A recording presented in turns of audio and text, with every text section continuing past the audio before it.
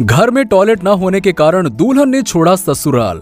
उत्तर प्रदेश के अलीगढ़ से एक ऐसा मामला सामने आ रहा है, जिसको सुनने के बाद आप भी हैरान रह जाएँगे। दरअसल, यहाँ पर घर में शौचालय न होने की वजह से एक नवविवाहित महिला अपना घर छोड़कर मायके चली गई।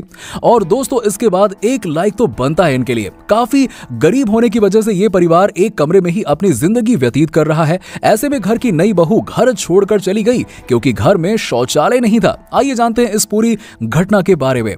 जानकारी जानकारी के लिए आपको बता दें कि अलीगढ़ में रहने वाला ये परिवार गरीब होने के कारण इनके पास घर के नाम पर केवल एक कमरा है। ऐसे में शादी होकर नई नवेली दुल्हन घर आई और लड़की ने कुछ समय तक तो जैसे तैसे गुजार लिया।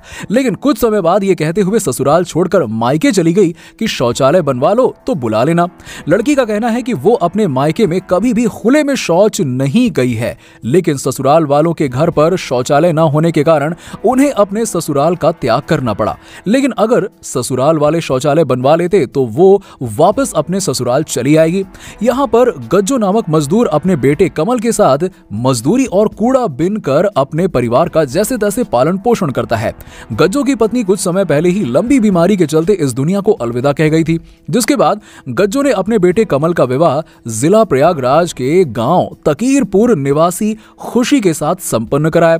कमल और उसके पिता गज्जो का कहना है कि अशिक्षित होने के कारण उनको सरकार सरकार की तरफ़ से कोई भी सुविधा नहीं मिली है। उनके आधार कार्ड और वोटर कार्ड नहीं बने, जिसके कारण उन्हें घर और शौचालय जैसी किसी भी सुविधा का लाभ नहीं मिला।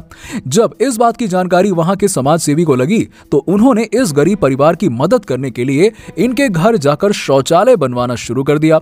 कमल का कहना है कि शौचालय बनने के बाद उसको उम्मीद है कि उनकी पत्नी घर वापस आ जाएँगी। दोस्तों, ऐसे ही न्यूज़ से जुड़े रहने के लिए हमारे चैनल को सब्सक्राइब करें, साथ ही साथ वीडियो को फेसबुक और व्हाट्सएप पर ज़्यादा से ज़्यादा शेयर करें।